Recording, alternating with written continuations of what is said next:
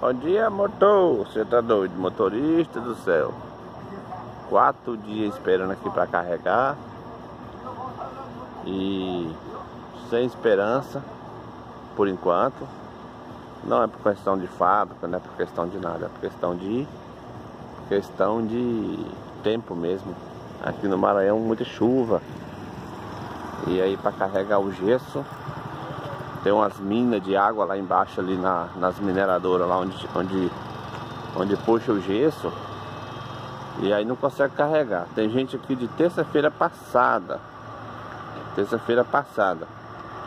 Hoje é terça. Deixa eu ver que dia que é aqui que eu já até esqueci, meu Deus do céu. Pera aí. Hoje é dia 26 do 3 de 2019. O... Tem gente aqui de terça-feira passada. Então hoje tem gente aqui de oito dias, né? Aí tá assim, motorista. Que situação, viu? Saiu lá do Militituba, saiu de um lugar para outro. E eu vou te falar, né? Aí, opa, o que que acontece? Não tem como ir embora porque questão de óleo diesel. Óleo diesel porque, ó, daqui para Brasília, pra vocês terem ideia, eu vou gastar aí 500 litros de óleo da onde eu tô. Que é daqui para Brasília eu tô no Grajaú, no Maranhão. Grajaú, Maranhão vai gastar 1.700 reais. Isso é 500 litros de óleo. É 3,40, a média que tá aqui 3,40, 3,50. 500 litros de óleo. Então, a viagem que fez lá no Pará não vai resolver nada. É assim, motorista. Que situação, né? Mas não tem ninguém é culpado. Culpado é, graças a Deus já que tá chovendo, gente não pode falar nada. Mas é assim, é só pra deixar claro assim, você vê como é que é a nossa situação de quem trabalha, né? Tudo, tudo pode acontecer. É um caminhão quebra, é uma chuva que não deixa carregar, é um monte de coisinha aí que, que deixa você assim, às vezes ilhado, igual eu estou aqui hoje ilhado, né? Entendeu? Mas Deus quiser, a chuva vai dar uma trégua aí. A gente consegue carregar e ir para casa. Porque hoje, para ser bem sincero, não tem condição de, de abastecer o carro para ir embora não. Até tem, tem como abastecer. Usa um cartão, usa uma coisa aí.